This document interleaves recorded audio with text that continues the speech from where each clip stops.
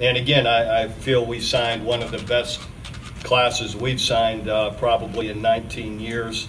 Uh, I love the balance of it. There's 13 offensive guys, 13 defensive guys, and and uh, one specialist.